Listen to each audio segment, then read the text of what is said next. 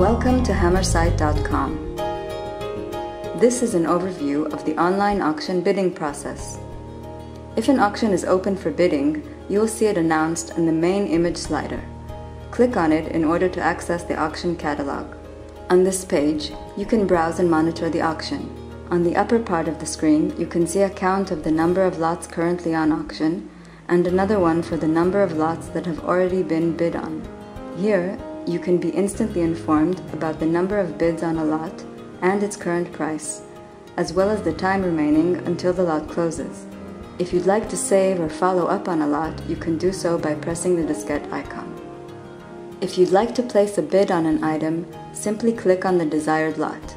This will lead you to the item page where you'll see a panel allowing you to place bids. Carefully review the information on this panel. In the first stage of the bidding process, you can either place a regular bid or a maximum bid. A regular bid is placed by clicking the Place Bid button, which means you're bidding on the next bid amount. In this case, this will be the amount you bid.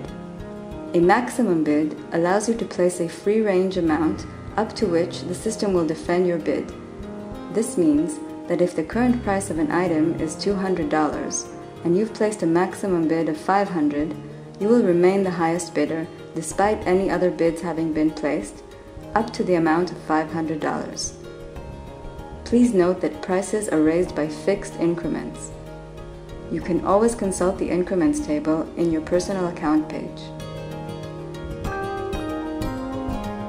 After you've chosen how to bid, simply click the appropriate button and this will lead you to the second stage of the bidding process, the bid confirmation page.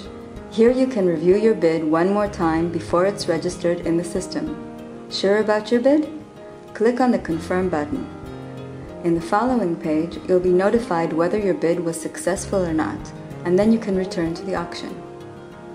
You can always monitor the bidding process, review competing bids, and follow up on your own bids through the bid history.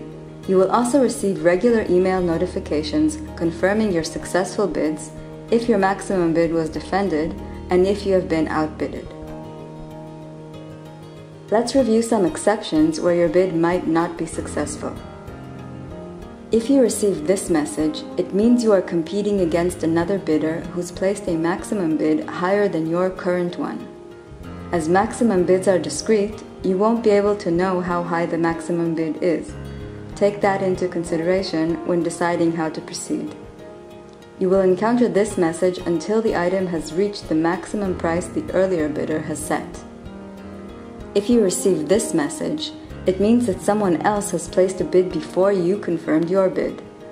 In this case, in order to be the high bidder, you must return to the item page and place a new bid on the updated amount. Remember, you can always contact us via email or phone to assist you should any questions or problems arise.